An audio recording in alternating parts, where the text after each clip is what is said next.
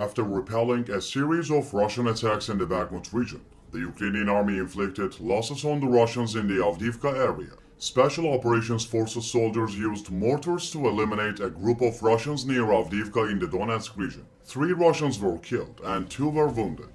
The 8th Regiment of the Special Forces operating in the region made some statements. Special Forces. The enemy attacks the same route every night, during night surveillance in the area of responsibility.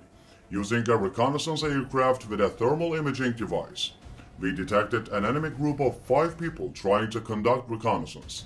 Special Forces operators opened fire on the Russians with a mortar.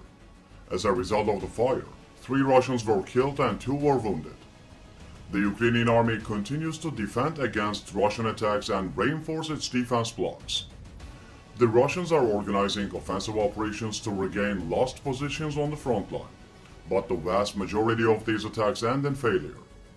The Ukrainian army is losing both equipment and military personnel to the Russians. The Ukrainian army continues to be effective in the southern region. What do you think about the operations carried out by the Ukrainian army?